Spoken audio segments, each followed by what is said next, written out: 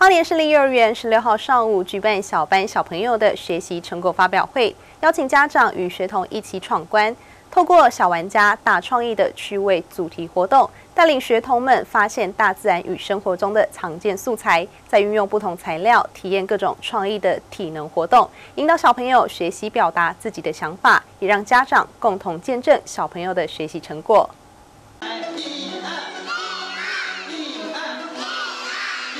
十六号上午来到花莲市立幼儿园，小朋友们随着音乐节拍，跟着老师舞动小小身躯，可爱模样让家长们都忍不住拿出相机记录下来。在经过一年的学习，是有小班的小朋友即将步入中班，幼儿园也在学期末为小朋友精心规划办理年度学习成果展，运用亲子的创作，做出了很多的作品，它包括有金属类、纸类，还有我们的大地素材哦，从纸箱的创作。做出了许许多多很好的作品。那今天我们也依照他们的学习成就，做了有关于八关的闯关活动。希望我们所有的小朋友跟家长都能够了解我们小朋友学习上的成就，以及享受这个美好的早晨。是幼小班的成果展，这次是以小玩家大创意作为主题，特别邀请家长一同到场，和小朋友共同闯关，见证一年来的学习成果。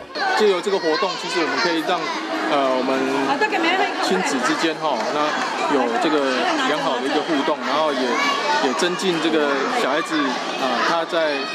各方面体能、智能的一个发展。那我就觉得说，这是一个呃很棒的机会。小小朋友的想象力其实是真的很丰富。所以他可以依照自己的想法，还有很多做法去。在他平时都可以看得到他的改变。成果展的闯关内容包括好棒按个赞，我是投资手，翻箱越岭，滚滚乐，好忙好忙的剪刀，拼拼凑凑的小玩家，叶子拉车以及数字排排乐等八道关卡。其中有助学童激励平衡感训练的体能项目，也有艺术创作，针对孩子的学习设计多元的关卡内容。市长魏家贤也表示，未来私立幼儿园会持续针对各种不同主题节庆来规划课程，尤其在衔接教教育的部分。也会加强课程，让学童在幼儿教育里快乐地获取知识，健康成长茁壮。记者徐丽琴，花莲市报道。